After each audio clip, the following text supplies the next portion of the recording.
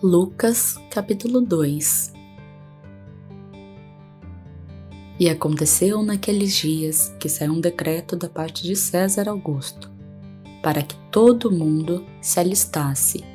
Este primeiro alistamento foi feito sendo Quirino presidente da Síria. E todos iam alistar-se, cada um à sua própria cidade.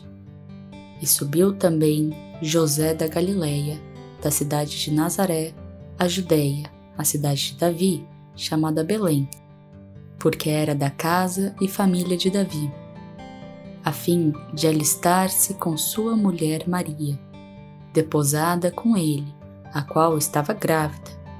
E aconteceu que, estando eles ali, se cumpriram os dias em que ela havia de dar à luz, e deu à luz a seu filho primogênito e o envolveu em panos e deitou numa manjedoura, porque não havia lugar para eles na estalagem.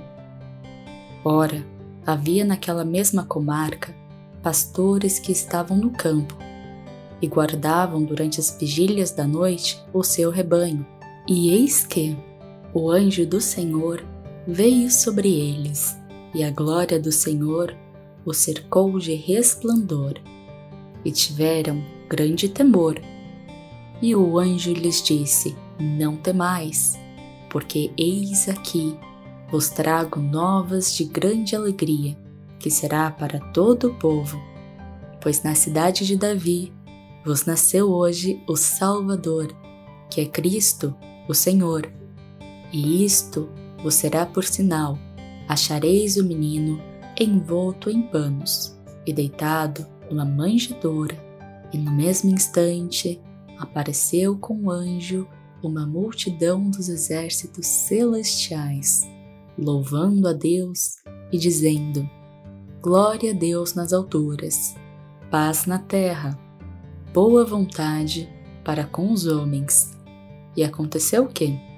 Ausentando-se deles os anjos para o céu, disseram os pastores uns aos outros: Vamos, pois, até Belém e vejamos isso que aconteceu e que o Senhor nos fez saber. E foram apressadamente e acharam Maria e José e o menino deitado na manjedoura. E vendo, divulgaram a palavra que acerca do menino lhes fora dita. E todos que a ouviram se maravilharam do que os pastores lhes diziam. Mas Maria guardava todas estas coisas, conferindo-as em seu coração. E voltando os pastores, glorificando e louvando a Deus por tudo que tinham ouvido e visto, como lhes havia sido dito. E quando os oito dias foram cumpridos para circuncidar o menino, foi-lhe dado o nome de Jesus, que pelo anjo lhe fora posto antes que no ventre fosse concebido.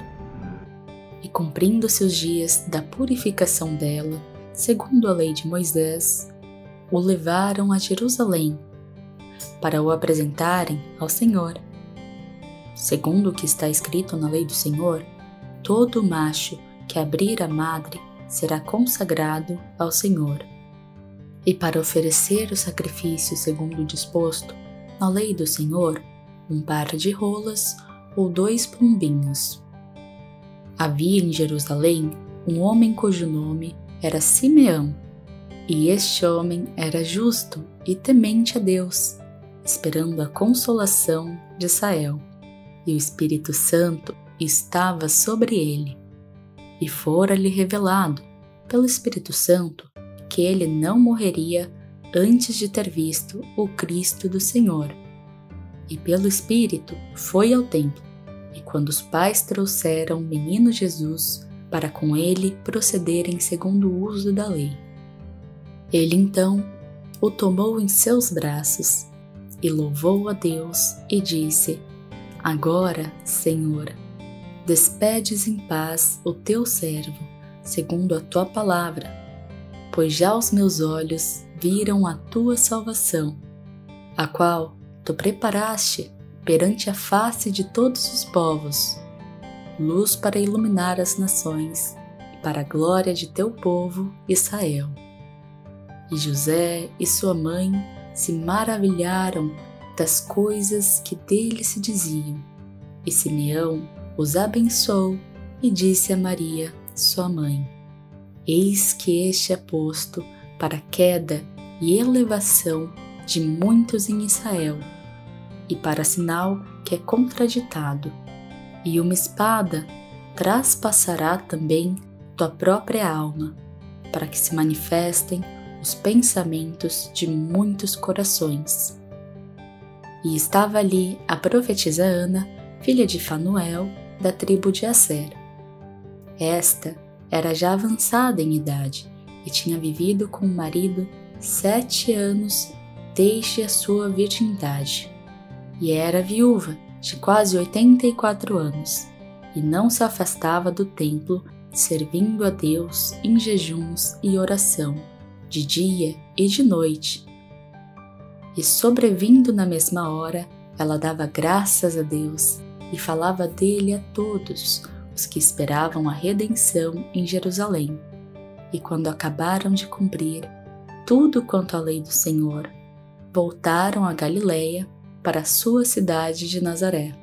E o menino crescia e era fortalecido em espírito e cheio de sabedoria, e a graça de Deus estava sobre ele.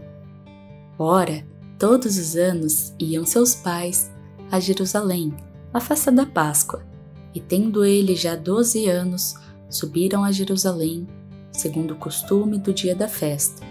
E regressando eles, terminados aqueles dias, ficou o menino Jesus em Jerusalém, e não o soube José nem sua mãe. Pensando, porém, eles, que viria de companhia pelo caminho, andaram caminho de um dia e procuravam-no entre os parentes e entre os conhecidos. E como não encontraram, voltaram a Jerusalém em busca dele. E aconteceu que, passados três dias, o acharam no templo, assentado no meio dos doutores, ouvindo-os e interrogando-os. E todos os que ouviam admiravam sua inteligência e respostas. E quando o viram, maravilharam-se, e disse-lhe sua mãe: Filho, por que fizeste assim para conosco? Eis que teu pai e eu ansiosos te procurávamos. E ele lhes disse: Por que é que me procuráveis? Não sabeis que me convém tratar dos negócios de meu pai? E eles não compreenderam as palavras que lhes dizia. E desceu com eles e foi para Nazaré, e era-lhe sujeito, e sua mãe guardava no seu coração todas essas coisas. E crescia Jesus em sabedoria e em estatura, e em graça para com Deus e os homens.